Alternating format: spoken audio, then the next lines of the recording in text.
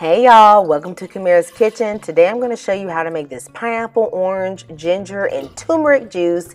And I'm going to give you some juicy tips, uh-huh, pun intended, okay, as to how you can make this juice without a juicer, okay? Now, for starters, I have here eight oranges. I have two very ripe pineapples. You see how yellow they are? I have one fresh lemon. This is about six ounces of fresh ginger. I also have a teaspoon of turmeric, and this is dried turmeric, and a pinch of pepper. They say pepper activate turmeric. I don't know, but we gonna do it just in case. Now, notice I'm actually using juicing oranges. These are not your typical oranges, and there is a difference. Valencia oranges or juicing oranges, as you see them called, have a higher juice content than your typical orange like you would see here. This is a Cara Cara orange. And you can know the difference because this one is going to have that navel at the bottom. If you see that, that is not what you want to get. Now, if this is the only option in the store, then that's fine. But you are going to get significantly more and a sweeter juice from these first thing we have to do is that we must wash these pineapples. I'm actually going to be using the skin to make a simple syrup. So you do need to scrub it very well. And if I had a fruit brush, I would be using that. Of course, I'm going to remove the tops and just make sure, you know, any pesticides or any residue left is gone. I'm going to scrub this ginger down and there's a lot of dirt in between those nubs of ginger, especially the big ones. So I just crack a few off and scrub it well as good as you can. Now these oranges, I know we're to peel them, but y'all know, you know, little stuff be getting on. You know, I don't want nothing in my juice. So I'm just to wash everything, okay? Now for starters, I'm going to work on this pineapple and I'm going to save the skins at the side. And I'm just cutting this very easily. I don't need to get all the eyes out. That's not going to be necessary. And then you take your pineapple and you give it a fine dice. Now there is a woody part in the middle of the pineapple and because we're juicing it, it is okay to keep. You don't need to cut it out or discard it. Now guys, of course, you know I snuck a little snack, all right, while I was cutting. And if you think that I'm doing a great job so far and this video is giving you value, please go ahead and click that subscribe button because I post videos every week. This is all my cut up pineapple from both of them and this is all the skins that I am going to save. All right, but I'm going to discard that little spot that had um, you know, a little bit of mold or something. And I'm going to put some water on on the stove. Now this water is starting to boil and I'm going to put in my skins and I'm going to use some honey to make this simple syrup. I'm going to use about three-fourths of a cup, but you could also use a cup of sugar. I think the honey is a little bit healthier, but we all know this is straight up sugar. Okay, let's not lie to ourselves. Okay, now I'm going to cover it until it hits a boil and then I'm going to leave it ajar so that the water can reduce and make this simple syrup. Now, while that is going on, I'm going to peel these oranges. Now, you're going to find that juicing oranges have a very thin skin. And if you want to suffer and you want to get all that, you know, orange oil under your nails, you can attempt to peel it. But we ain't going to do that, okay? Because I don't have the time. Amen. So I'm just going to cut it in half and I'm going to just peel off the skins on the outside as well as that white pith. And you do need to get off that white part because that part is bitter. And if you blend that into your juice, at least too much of it, it will make your juice kind of bitter. You don't have to get out all the seeds because they will just be grinded down and it's really no big deal. But those we're just going to discard. And I'm going to chop up all my oranges like this. Making sure to try to get as little meat as possible um, cut off.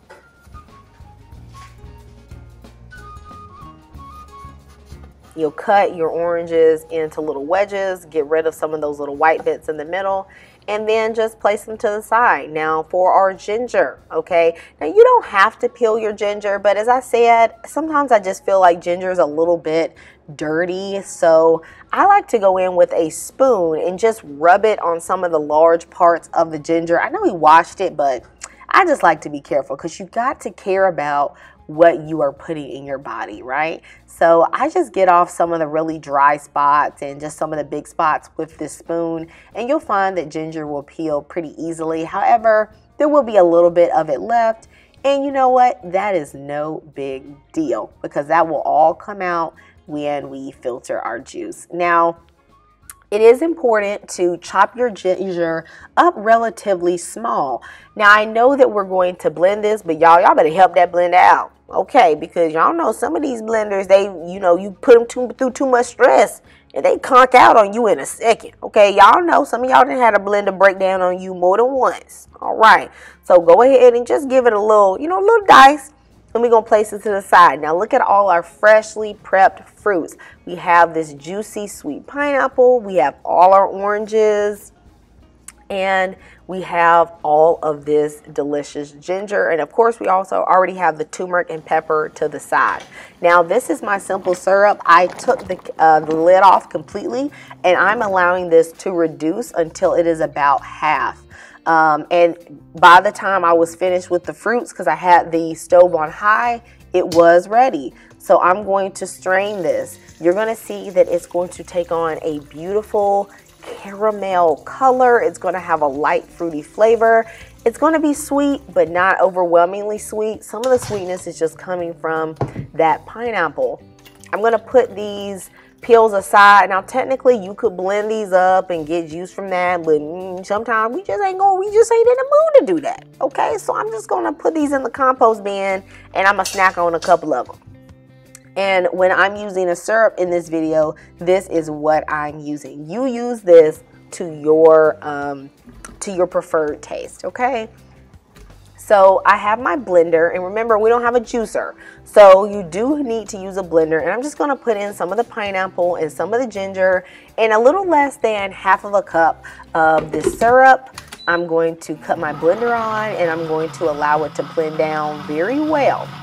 Now, I'm not gonna waste this blending session, okay, because as you can see, this blender ain't full, honey. So I'm gonna go in and I'm gonna add a little bit more. All right, and then I'm going to blend that again. Once it is ready, I'm going to show you two different ways you can try to strain this juice. Now, one way you can try to strain this juice is to simply put on a fine mesh strainer and gently with a spatula work the juice through the mesh strainer. This option for making juice without a juicer is a little bit more time consuming, but it will work. As you can see at the bottom of my blue pitcher, I did get some juice, but now I'm gonna show you my next strategy. I am blending another batch of fruits and I'm adding the turmeric and the pepper and the turmeric is going to stain the juice a little bit, but that's not a problem because as you know, turmeric is super anti-inflammatory. It's very healthy for you if you have achy joints. And this is the second way that you can blend. This is like a cheesecloth. I got this from Walmart. Okay, they were sold as like fabric towels. They're like kitchen towels and put it down in a single layer. You can pour in your juice and this method I think is the best if you can get you one, okay? Because you can simply squeeze out all that golden goodness. All right. Look, you can, first it'll start out a little slow, but put a little pressure on it and you'll see that river of juice start to come down. And it's fairly, it, it does a fairly good job of straining the juice. Now, one way to help encourage it to get out is to sort of work it with your fingers, okay? That massaging will begin to push the juice down and it will push the pulp to the side. Now this did stain this kitchen towel, so make sure that these are used just for kitchen purposes, all right? And you can take out that um, pulp and then you can put in your next batch and you can do the same thing. Um, you just put it in, grab it up at the top, and then gently push down all the juice. And I did this same strategy blending the fruit and then straining the juice until I had did all my fruits. Now I cut my lemon in half and I'm going to squeeze that lemon juice into the juice and just catch the seeds with my fingers. I think the lemon juice just gives it a little extra brightness. And at this point, you want to taste it for sweetness. I felt like it needed about a half a cup more of this simple syrup. And so I mixed that in and I actually just reserved that simple syrup to the side. I'll use that to make a pineapple lemonade. Now guys, I hope you love this recipe. I thoroughly enjoyed it. It's a little spicy, a little tingly, sweet, It's like sunshine all over it. I hope you know that I love you and God loves you, and I will see you next time in Camirra's Kitchen. Goodbye.